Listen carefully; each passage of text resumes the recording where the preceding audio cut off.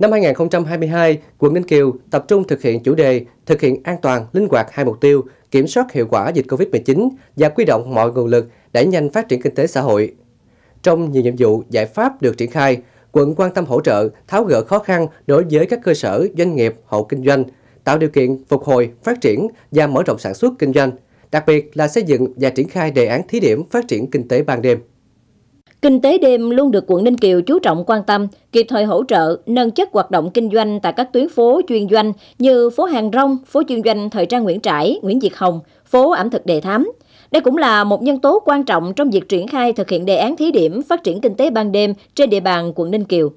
Đối với những cái hoạt động kinh tế ban đêm sẵn có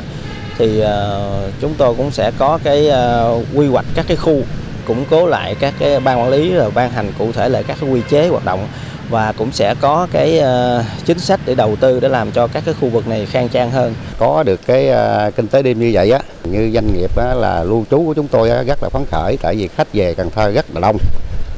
Đề án thí điểm phát triển kinh tế ban đêm trên địa bàn quận Ninh Kiều đang được triển khai. Theo đó có 5 vị trí trọng điểm, gồm phố đi bộ Ninh Kiều, khu vực công viên sông Hậu, từ cầu đi bộ đến đường Trần Phú, khu vực rạch Khai Luông, kè cặp rạch Khai Luông đến nhà lòng 123, cụm trung tâm thương mại Cái Khế, khu vực Hồ Sáng Thổi, khu vực Hồ Bún Sáng và một số vị trí tiềm năng khác. Trong đó nổi bật là tuyến phố đi bộ Ninh Kiều đã được tổ chức ra mắt và đi vào hoạt động từ ngày 30 tháng 4 năm 2022 với các hoạt động đi bộ, biểu diễn văn nghệ, ẩm thực, tạo điểm nhấn thu hút du khách khi đến Ninh Kiều. Tham mưu để cho ủy ban là đưa vào cái kế hoạch để khai thác các cái ờ, nhà hàng dịch vụ kinh doanh có sẵn trên địa bàn